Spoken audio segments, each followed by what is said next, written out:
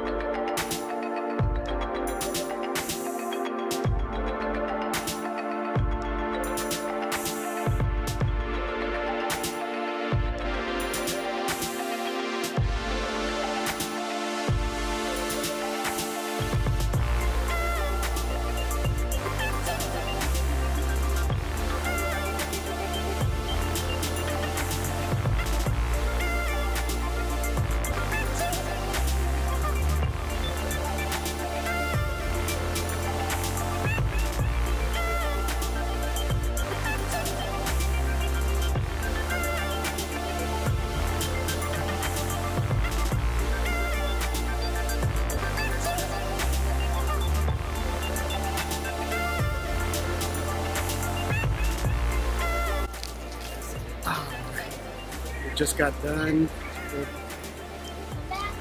the Hot Topic booth and it was a success. So we're gonna go drop this off and uh, grab our other stroller. That way we, we can walk around a little bit more and enjoy the Comic Con. But yeah, success, no autograph Kevin Smith, no Stan Lee pops, but other than that, we got pretty much everything we wanted. So yeah, see you guys back inside.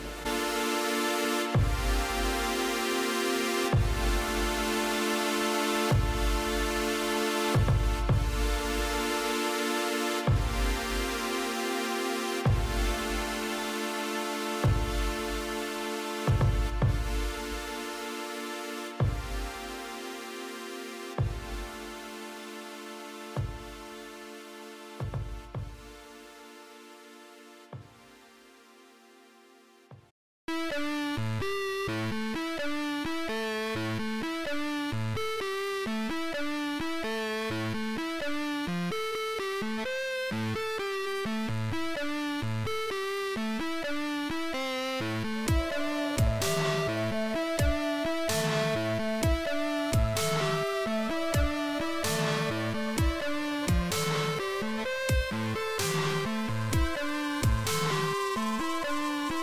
right back.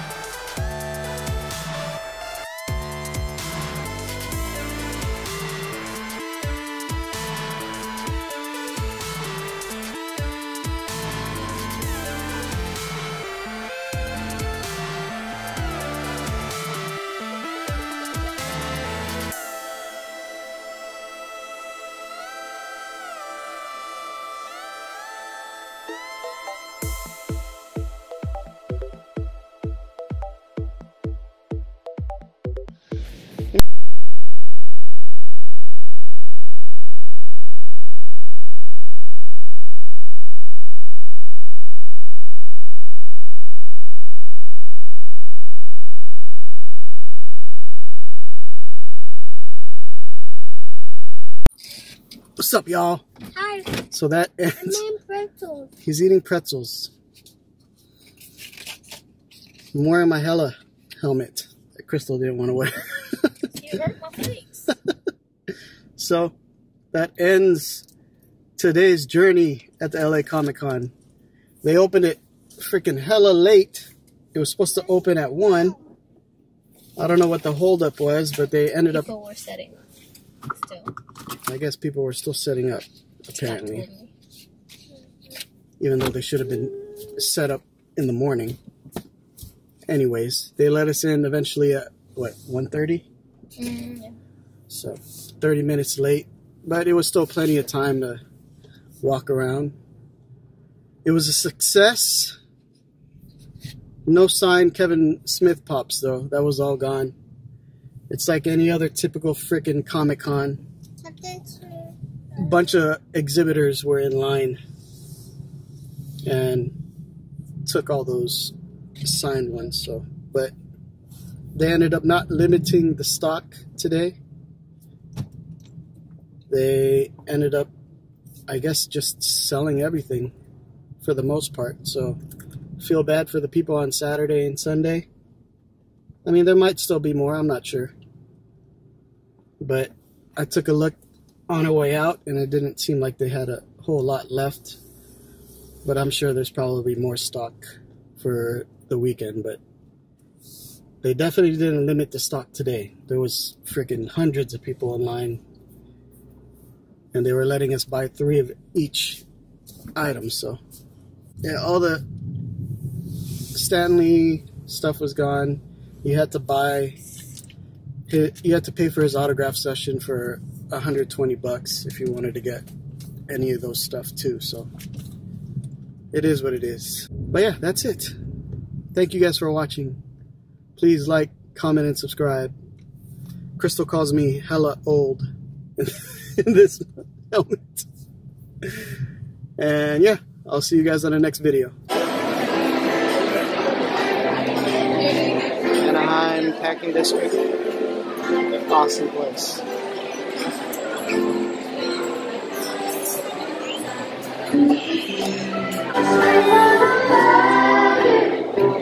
I I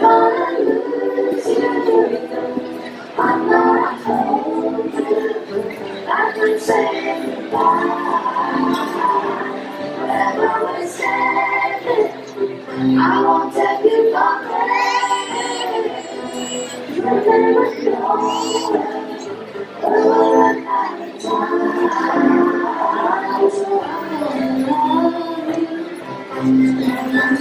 you.